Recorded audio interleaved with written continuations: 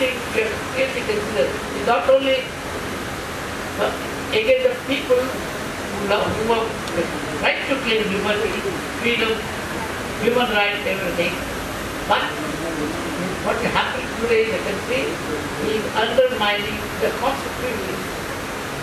Now, we are not sure whether the constitution will last under the present regime. They have a program. The program to see in course of time this constitution replaced by the RSS drafted constitution. RSS drafted the Indian constitution long ago, much for the last 50 years or so.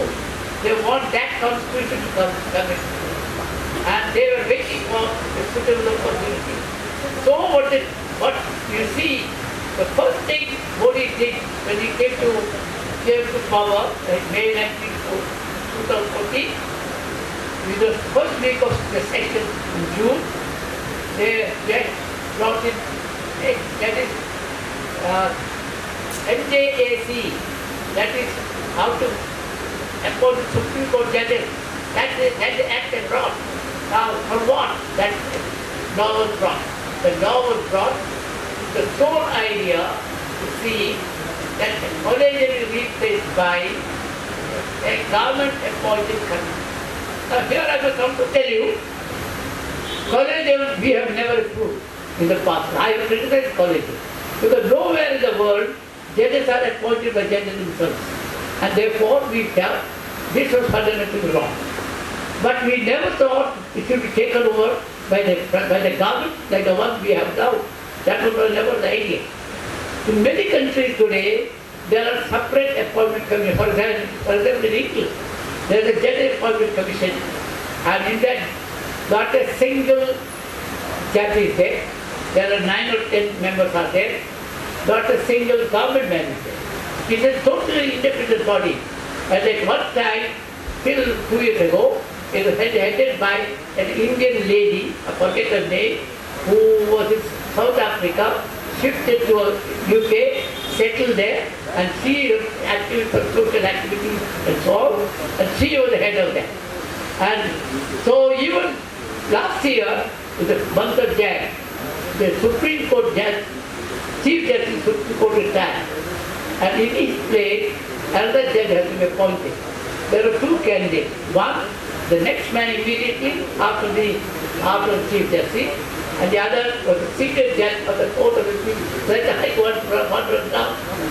But it is a college, it is the appointment committee that decided, and of course it was finally given to the next senior most judge of the Supreme Court.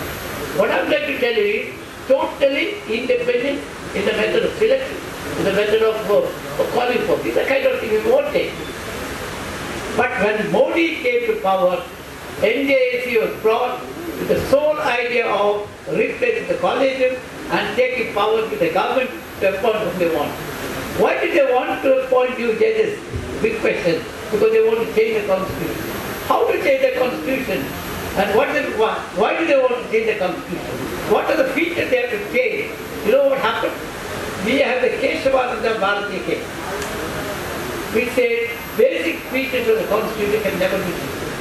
And again, on principle, as a professor of political law, you find that again that proposition is untenable.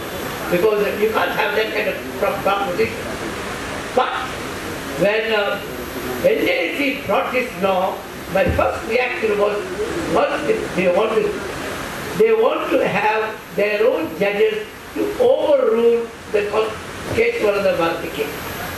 They, they without overruling the Keshavananda Bharati case, they will not be able to amend the constitution, particularly the basic features of the constitution. And that is the reason that they were brought. So when the Supreme Court did take that, I, I supported.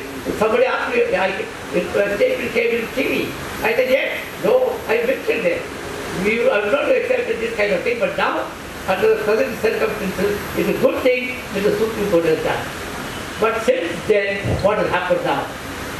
Slowly, slowly, we find the judiciary also not willing to stand by its own earlier reputation as such. We have heard uh, there is Ramshila, Usha Ramanathan, how the judges themselves have no courage to say what, to, what they have to say. They are not doing that. See, it's a kind of pressure is coming. Again, judges for nearly two years, in spite of the collegium what excellent judges, in spite of large number of vacancies, the government would not approve. Now, of course, slowly, slowly, some are being approved. And slowly, slowly, the element of their thinking will be introduced in the judiciary. That's the fear I have. And I think it is in that sense our association has a vital role to play. Because we have fought for democracy, we have fought for freedom, we have fought for liberty and for and and uh, we can, can never agree to a constitution adopted by the RSS. Uh, the type of fear that, that we have. And I think this, we of course here passed some resolution, we have changed some constitution, we have been, but our group is not that large as to, have to influence at every level. But I think we have to make the people aware of what is going on. Apart from uh, fighting at the court level, I think we must also fight at the level of the people. We must tell the college, go to the colleges, go to institutions, tell them, because today what you have done, within two years, all governors of states have, have been replaced by staunch RSS people. The president candidate for the president, the president's post, Ram, Ramnath Kovind, who is he? Dalit of course to show really he's an RSS man. And what will he do? Oh, he will be a good man, everything. What will he do? He will do according to the dictates of the party. It's a kind of thing. So question should have been, would he maintain the constitution as it is? Or would he, would he not interfere with the government and so on? The whole question is misunderstood. It is, it is not a question of Dalit or anyone. It's a question who has regarded faith in the Constitution. And you see the Constitution is protected. That is his fundamental oath he takes. Would he stick to the oath? These are the questions which we have considered. And therefore, when we think of these things, we have to have a judiciary, course, judicial level we have to fight. Perhaps at various other levels we have to organize. I do not know in my lifetime whether I'll be able to see your success. I wish you success, I can only say, because these are, unless you fight everywhere. For example, what is going in Kashmir? You must understand the aspirations of people. What is going in Manipur? We must understand what is happening there. What is happening in the rest of the country today? Today, if I speak against the government, sedition should have been scrapped long ago. And so many things have been said uh, from time to time in every conference. In England, they got uh, the Sedition Act, and we have still kept it. Sedition was brought by the Britishers for the purpose of saying nobody talks against the government, because that's how it was thought of. And, and by committing sedition way to get what you wanted to get. Therefore, that's one thing we, some of us speak strongly, we can speak of. But at the same time, today you have freedom to talk, but you don't have freedom afterwards. After you, when you go home, you don't know what will happen. You don't know who will attack. And the way the things are going on is absolutely scary. And so when I was invited for this program, and uh, also requested that I should be with them. I was always with them. I had always attended uh, Sebastian program. Had also taken active part with Mukul Sinha when he was doing so much in Gujarat. And uh, but I tell you, things are going bad to worse, and uh, I think the struggle will be more intense. So I think uh, I just want to say a few words. I thought uh, because I have to go early, before I'm about to speak. I don't want to speak it at length. We have all spoken various items. I must compliment that she's uh, who he was uh, 26 years younger to me in the judiciary, I can say. Me. But I'm glad it has come forth. I want people like that.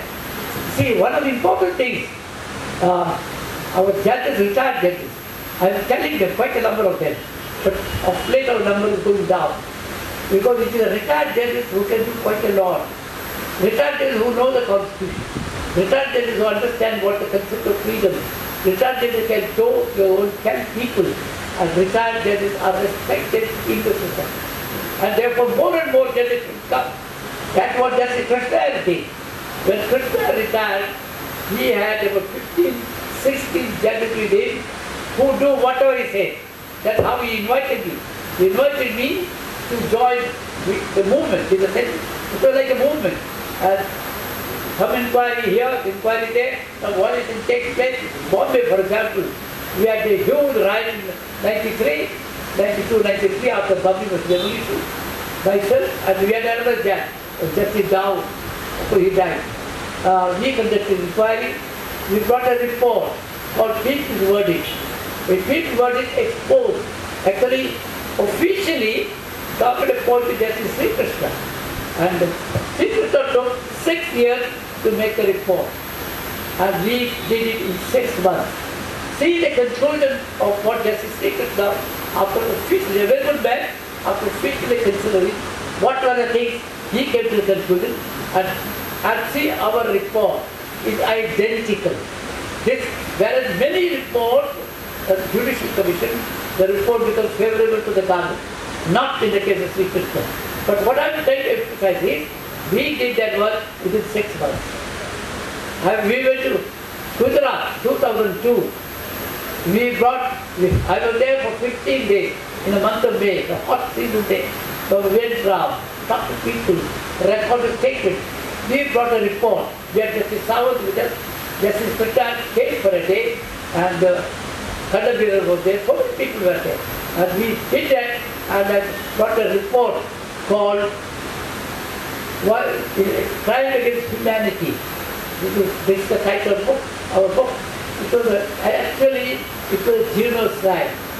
And as a result of that, Modi's visa was cancelled all over the world. He could not go anywhere because he had no visa. Because unite the, the international bodies do recognize violation of human rights. And they prominently noticed that this is a real genocide or a against humanity. And therefore they took the right stand not to recognize and uh, give the visa. But of course, gradually, gradually, what happened? We can brought a report within 10 months after the, uh, after the, uh, after the riot. That is, in 2002, February, March, we brought a report by October. We released that report. Again, the government had appointed initially one judge of the High Court, of the High Court. Thereafter they appointed Justice Nanavati and where Mukul Sinha played a major role. Mukul Sinha brought evidence after evidence before the judge, before Nanavati Commission and his, his work was admirable. He did not hesitate to expose everyone. That commission went on for 10 years. But even today, the commission is not functioning, the is not functioning. It's a kind of thing. This is a kind of work we have been doing. Yet, you know, what happens in this country is gradually are shifting, shifting our regard of all constitutional ideas autonomy. That is that is that part. People need to understand our constitution, particularly the preamble of the constitution, particularly the Article 21, with a wide interpretation. So much so I wrote a book, all human rights are fundamental rights. Because all other come under, in any case whether it is fulfilled or not, it will come under Article 21. 21, court has Article 21 in such a way, it includes all that goes with life. That is your food, the roti, kapda, makan, everything. This is what the Supreme Court. And that is human right. Your dignity depends upon your food, your education, your job, all those things. That is why such a broad interpretation. Now they want to eliminate the constitution and its preamble. Other day somebody said, soon you will find, I think I down, what he said was, soon you will find Savarkar as the father of the nation and Mahatma Gandhi will the stepfather. That is the Thank you very much.